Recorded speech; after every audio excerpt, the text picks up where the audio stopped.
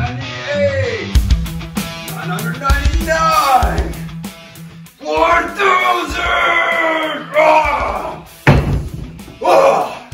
My name is Chad, and if you were born this week like me, your destiny becomes to swole! Just like me, just like Rob Whiffler. This week, I'll help you achieve your destiny of swole if you just follow my guide. Now, here we have the temple of swoliness, where we achieve our enlightenment. Okay? Let me walk you through some of the highlights here. We have Power 90 Ab Ripper 100 by Beachbody.com. You want some motivation from this random gorilla? We got you here. Here's some rules that I have memorized, like uh, the following exercises require a spotter. Bench press, military press, squats. These are words that I have memorized. In this corner, the key to swoliness is rocks, because you must get your muscles as hard as them. They each have exact weight measurements. This one, 28 pounds. This one, 52. You put these into these state-of-the-art buckets to get swole. If you want to achieve your destiny, become swole like me, Chad, you're gonna need to work out. And I've got just the routine for you. Follow me and you'll get swole. The key to Rob's swoliness, as many know, is his twins. He is known to implement them into almost every element of his exercise.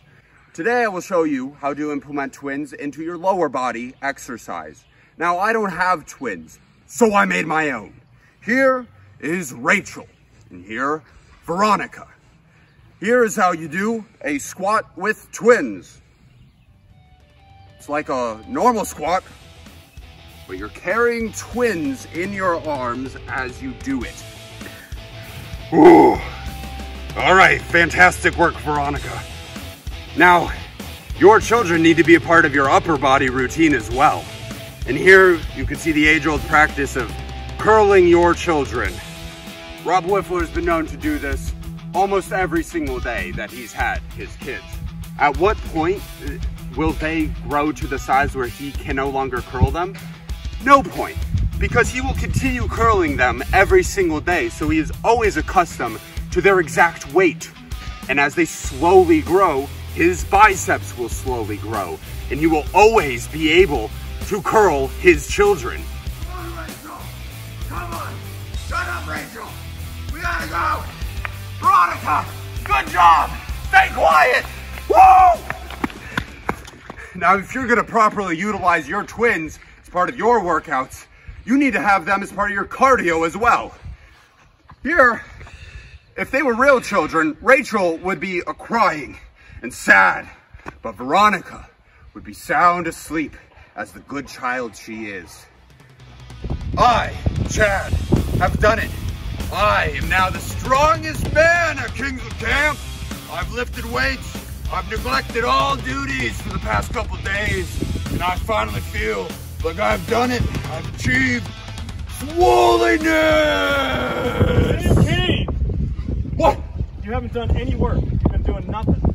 But I'm strong now. You're not nearly as strong as Charlie. Oh, no!